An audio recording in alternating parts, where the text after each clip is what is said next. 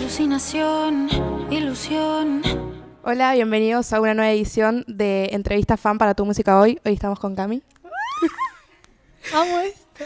Eh, bueno, primero agradecer a tu música hoy por eh, la oportunidad. Sí, Eh, gracias. Los amamos.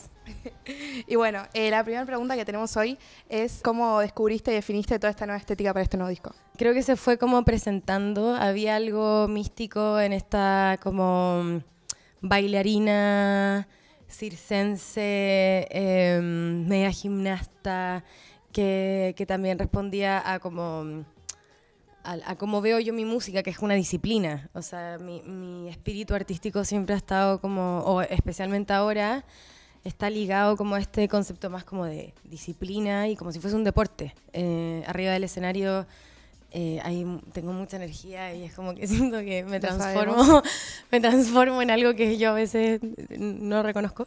Eh, pero, pero esa catarsis eh, que viene desde como la entrega de, de lo físico, necesitaba implantarla en la visualidad. Em, y, y empecé a tomar como distintas referencias. Tuve mu- muchas experiencias como reveladoras de, de especialmente dónde tenía que buscar esta inspiración, que fue la naturaleza. Como la naturaleza fue em, un como un como un, como un torpedo eh, y una un, un escenario donde yo fui solo un aprendiz y donde tenía como todo este espectáculo alrededor mío. No fue como, ah, quiero hacer esto. No, fue como una construcción de tiempo. Vengo trabajando en, en la estética de esto desde la gira pasada. Si ven la gira a partir desde el verano de este, de, sí, de este año. Lo vimos un poco en el Lola también. lo vieron en el Lola, donde yo ya estaba visualizando lo que quería. Em, entonces se fue como gestando, fue, fue mutando, fue como que siento que me embaracé del proyecto y fueron nueve meses de darle como nutrición, nutrir mi cabeza, mi cuerpo, eh, ser disciplinada con, con, con todo lo que eh, mi cabeza como que consumía y todos mis estímulos bien como despiertos. Eh, y terminó en Ana. Así que eso. A mí lo que me gustaría mucho saber es cuál es la diferencia, tanto personal como artística, entre Ana y lo que fue Anastasia. Em, Anastasia fue como el principio de esta como mutación. Em, es muy hermoso que, hay, que exista una disciplina como el arte y la música donde uno pueda depositar una emoción. O sea, me parece una locura que una canción, que es algo que, que es como un- una, una, una matemática auditiva, te genere alegría, pena, memoria, recuerdo, olores, tacto, textura. O sea, Total. es una locura que, que la música tenga ese poder y esa magia. Entonces con Anastasia fue como, ok, entiendo que la música tiene este poder, entiendo que yo soy una trabajadora de la música, estoy buscando, me estoy encontrándome, todavía tenía como estos tintes de neofolclore, pero también me fui como para el pop. Y cuando terminé el disco y lo saqué fue como ya, listo, esto es Anastasia, kill her. Y Ana significa vida para mí. Ana es como la, el momento del renacer de esta, de esta muerte El nacimiento. el renacimiento absoluto.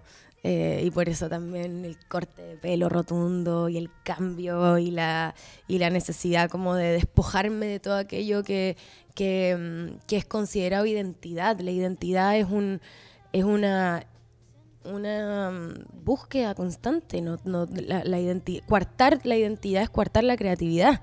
O sea, van de la mano. Yo no puedo decir que soy un artista eh, con una identidad definida. Soy una artista en búsqueda y en constante cambio y en constante movimiento. Y eso es lo que me hace creativa.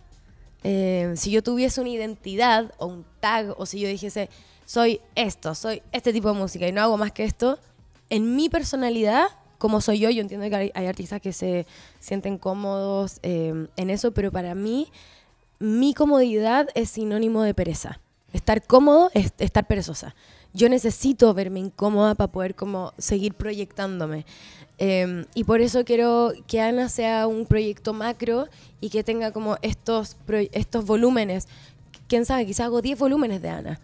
Eh, y quizás después el nombre es otro y hago 10 volúmenes más. No sé, no sé lo que va a pasar, solo sé que em, esta dinámica de hacer música y esta manera de hacer música hoy día me acomoda mucho y que de Anastasia a Ana es, es solamente el guiño a cambié, soy otra y es parte del arte.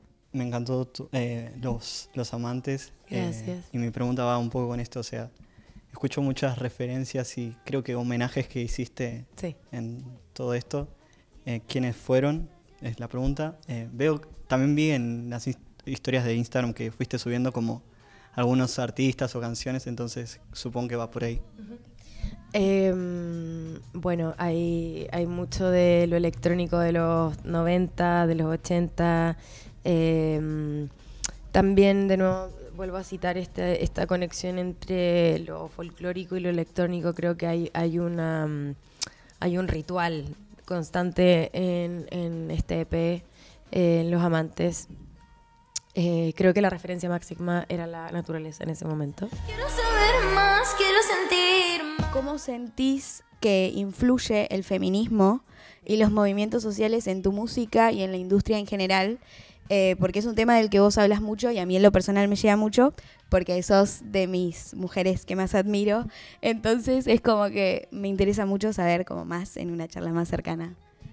Em, creo que el feminismo eh, está en mi día a día cuando tengo que enfrentarme al hecho de ser mujer dentro de esta industria. Eh, es el lugar de cobijo cuando veo injusticias, cuando las siento, cuando las, cuando las vivo. Em, es una industria tremendamente injusta, muy agresiva y violenta, em, con una falta de ética profesional tremenda. Eh, si yo contara todo lo que me ha pasado, créanme que no lo, no lo creerían. Em, y aún así, eh, con mucha confianza y tranquila puedo decir que somos seres superiores.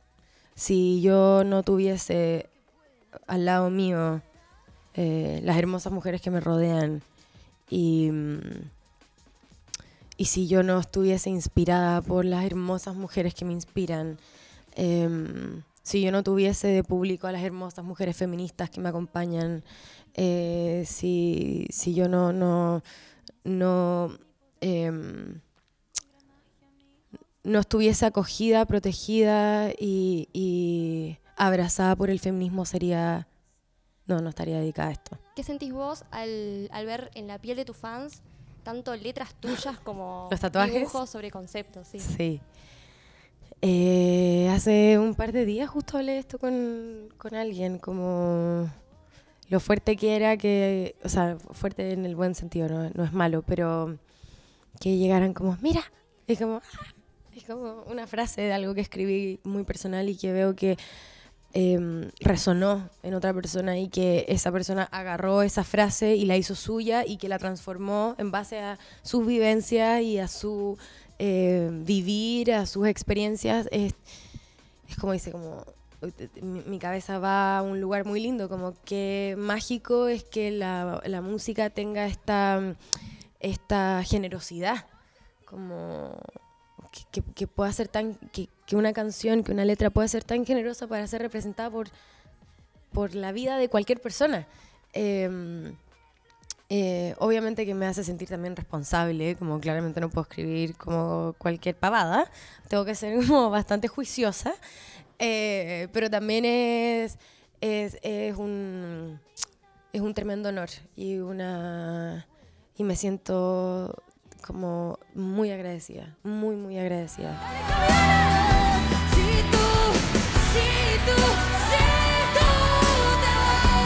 Sabemos que sos muy amiga de Tini, Sí. entonces yo quería saber cómo nunca hicieron en una canción juntas y em, con qué otro artista te gustaría colaborar en algún futuro. Em, obviamente que siempre está esa, esa posibilidad y creo que las dos hemos tomado como caminos musicalmente muy distintos. Eh, yo amo y respeto muchísimo todo lo que, lo que la Tinita hace, me encanta lo que está haciendo, me encanta verla como... También ella está en una mutación y la vemos como Yo no supero todavía cuando cantaron Si tú te vas en el Luna Park. icónico. Fue icónico ese Fue momento. increíble. Yo ahora lo veo y es como...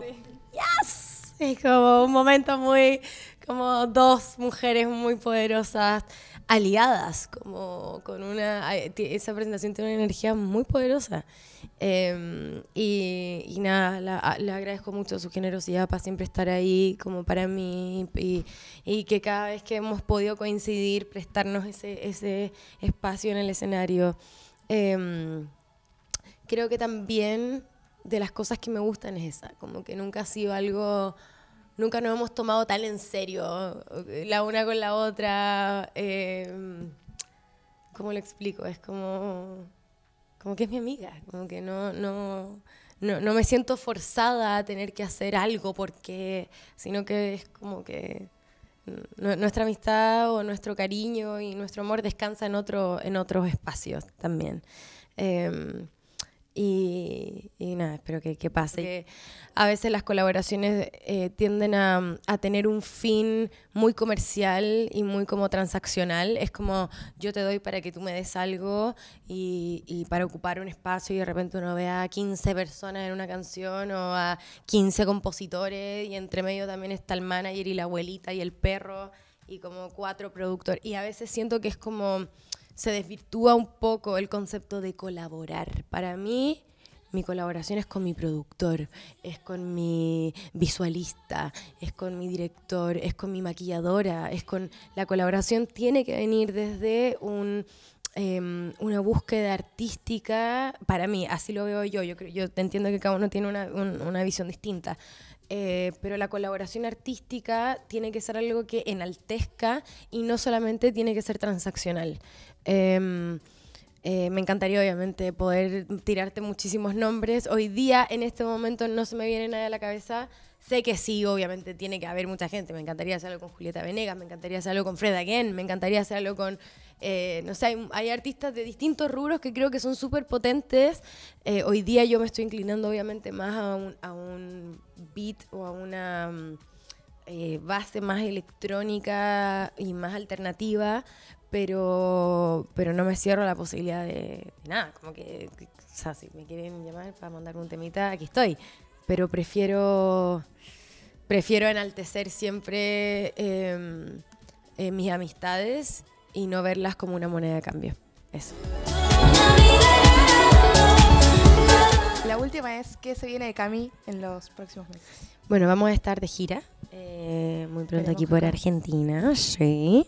Eh, sé que me, nos están pidiendo en varias provincias, así que estamos ahí armando algo muy lindo para que podamos disfrutar juntos de este nuevo show que he estado preparando hace muchos meses. Eh, es un show... eh, la idea es llevarnos a un lugar de ritual. eh, creo que los conciertos tienen una energía así muy catártica y hay Y una más acá. más acá que aquí en la euforia colectiva. Hay una colectividad tan eh, no sé hicieron a Taylor Swift llorar. Es como que ya está. Que Argentina forever. Como eh, yo tengo muchas ganas también de hacer una temporada acá. Tienen una industria maravillosa de artistas increíbles con catálogos espectaculares eh, me siempre me ha- eh, enamorado mucho el espíritu que tienen y la devoción que tienen con sus artistas, con sus ídolos, cómo los cuidan, cómo cuidan eh, la, canción popular. El canto popular es algo que para ustedes es súper importante, el folclore es algo que tienen muy en la, en la, en la sangre. eh, y, y cada vez que vengo a Argentina me llevo como un, no solamente un buen recuerdo, sino que una lección y una enseñanza. Son un público que enseñan mucho y que también desafían. Ustedes desafían a que el show sea bueno, que el artista represente bien. eh, y eso es algo que, que para mí es súper... eh, me, me- me apasiona, me apasiona poder presentarme ante un público así. Así que espero estar muy pronto acá de gira y, y poder disfrutar con ustedes. Eso. Bueno. Y quizás el volumen 2 muy pronto. Qué Eso. bueno. Bueno, gracias. Eh, bueno, gracias Cami por acompañarnos. A gracias ustedes. Tu Música Hoy por esta entrevista fan y nos vemos en la próxima. Chao.